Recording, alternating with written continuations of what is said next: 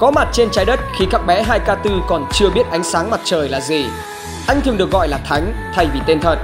Sở hữu đại đen taekwondo từ năm 17 tuổi. Năm nay, dù đã 41 tuổi nhưng anh vẫn chơi bóng đỉnh cao. Anh là người sửa lại câu nói trọng tài là cha là mẹ. Bởi vì trọng tài cũng phải rời sân khi rút thẻ với anh. Nhưng với phương châm đến là đón, đụng là múc, anh xúc cả Ramos, anh bế luôn cả PP. Khi anh khóc, người ta sẽ nói Zlatan không khóc, nước mắt tự rơi vì anh.